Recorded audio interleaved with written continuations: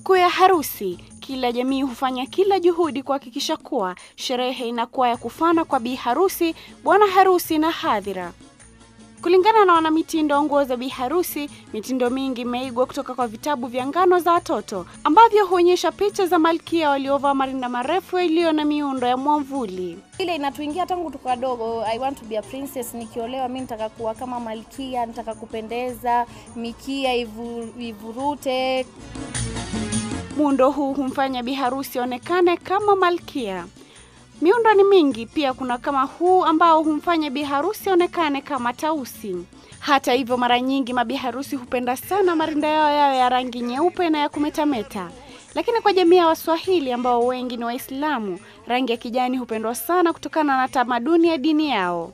Katika Kiislamu sisi hufanya hupendelea green. Green ni kala ambayo ilipendekezwa tangu kitambo. Mtume wetu Muhammad sallallahu alaihi wasallam yu- alikuwa akiipenda sana hiyo kala, so sana biharusi hupendelea siku ya ndoa kuvaa kala green. Ndo kala iliyopendezwa na Mtume, ni siku bora, ndo siku ya furaha, ndo siku ya kila kitu. Waislamu vilevile hupenda marinda ya harusi ambayo ni ya mikono mirefu.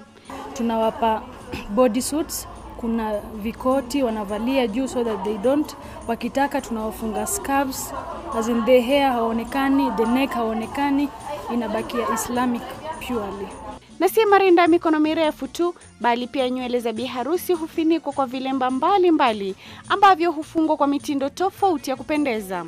Vilemba hivyo pia hutundikwa maua ya kumetameta ili kuongeza umaridadi wa biharusi. Rangi ya kadi za harusi huwa na maana kuu kwa aliyealikwa. An orange and brown card will be almost automatic. Kala zako za harusi ni orange and brown ama black and orange, lakini kwa vile watu wa, kuna wale ambao hawapendi kuigizwa kwa marangi yao, manake bridal party yako tayari black and orange. Then again, you see like 50% of your guests also are, black, are in black and orange. So someone tells us I want a card of red and white. So you wewe mgeni ama mpokee hiyo kadi, usidanganywe kwamba don't assume that because the card is in red and white hivyo ndo kala za harusi, lakini watu wengi huwa tunafuata huo mtindo. na kadi zenyewe pia hurembwa na kuvutia macho ya waalikwa. Mbali na umaridadi wa kadi, vipodozi anavyopakwa bi harusi na hata marinda wanayovaa, vipuli vya dhahabu, mikufu, bangili na hata maua ya kushikilia kwenye mikono ambavyo huwa vya kila umbo, huwa sehemu ya mapambo ya bi harusi.